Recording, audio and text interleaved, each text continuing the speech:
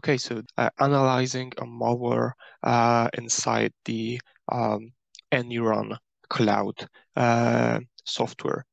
Uh, so AnyRun is an online detonating service. You can detonate uh, your malware there and then analyze uh, what it had inside, what actions that it took, um, what files uh, it uh, modified and, uh, for example, what HTTP request it, it was sending. Um, so in this case, we've got um, Emotet malware.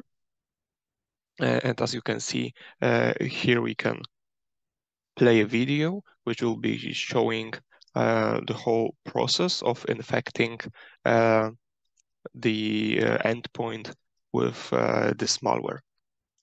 Um, the, our first task uh, will be to search for the processes that this malware was executing. And as you can see uh, here in the bottom right corner, you can see a section called processes. Uh, and here you can see that um, the, the Emotet document uh, was opened uh, with Word, um, and you can also uh, confirm it uh, with what you can see in this video. Uh, and then you can see that the PowerShell process was uh, started, and then the um, uh, 284 uh, executable was started, and then something called easywindow.exe was also flagged as emotet. Mm, now what can we do uh, is we can search what uh, actually uh, were uh, what was what were the um, insights uh, of the command that was triggered. In this case, we will open the PowerShell uh, window, as you can see here, and I will click on More Info. And if I scroll a little bit to the bottom, or here, you can see the command line.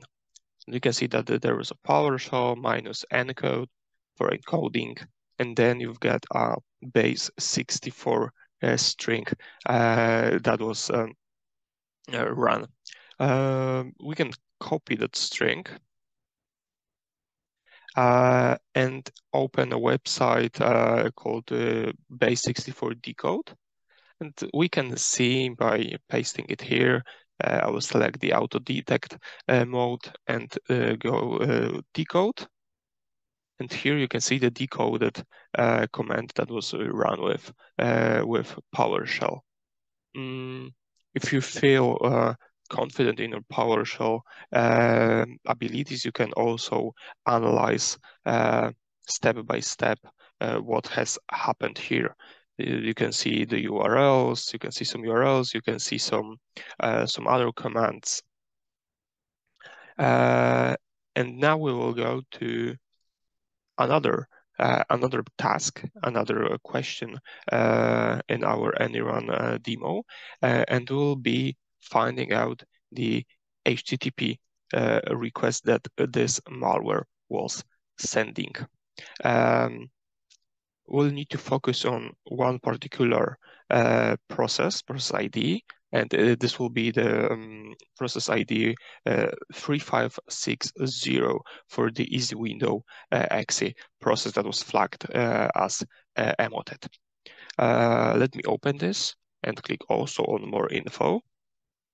And here in the events section, you can see that we've got an option to view HTTP requests. So let me open this, uh, this option.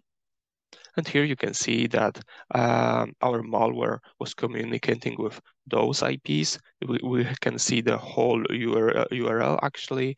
Um, what was the type uh, of the request? So we can see that uh, there was four posts request, but it didn't get any um, any response. Uh, you can then uh, check those IPs uh, in a different software. it is all up to you. Um, then we will need to check what was the host name um, that the process was sending those HTTP requests to. Uh, what we will do is we'll open a different process. Uh, in this case, will be, it will be the uh, PowerShell uh, process. We'll also click on more info uh, and we will see the HTTP request here.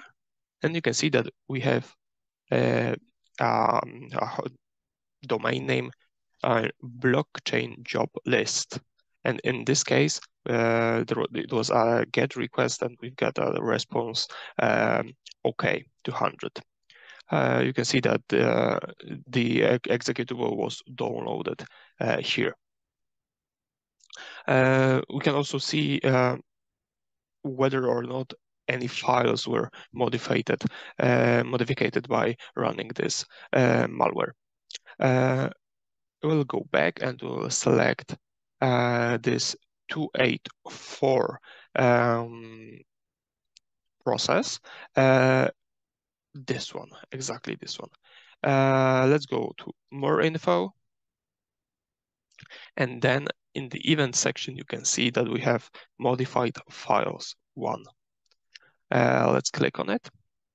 And here you can see uh, what was the executable. Uh, in this case, it was the easy window. We also uh, have seen that earlier, but this time we can confirm it.